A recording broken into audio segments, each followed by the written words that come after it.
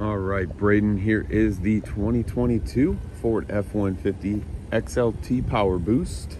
It's got the sport appearance package on it. Don't see anything too out of the ordinary. Spray in liner.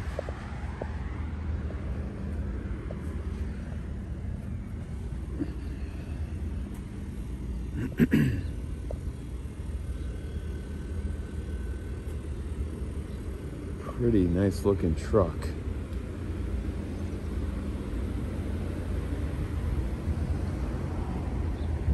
does have like one of those bras on here. I don't know if you know what those are, but you can kind of see the line there. It's kind of a protectant against the bug etching and stuff like that, or any stone chips.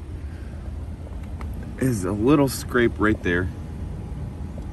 It is catching the nail, so more than likely, maybe put a little bit of touch-up paint or something like that maybe on there.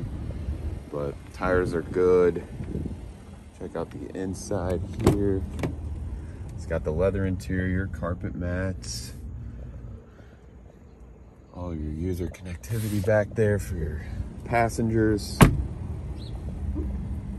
saw some white speckle, but that's just dust from the towel.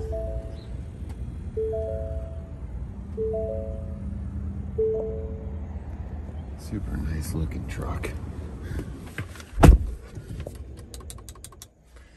All right, just over 30,000 miles, almost a 30 and a half. It's got heated seats, trailer brake controller, your drive modes with your 4x4, navigation, Apple CarPlay, Android Auto, connectivity stuff down there, lights, wing departure, cruise control, menu controls, and that is the 22. There's no smoke odors or anything like that as well. Let me know what your thoughts are.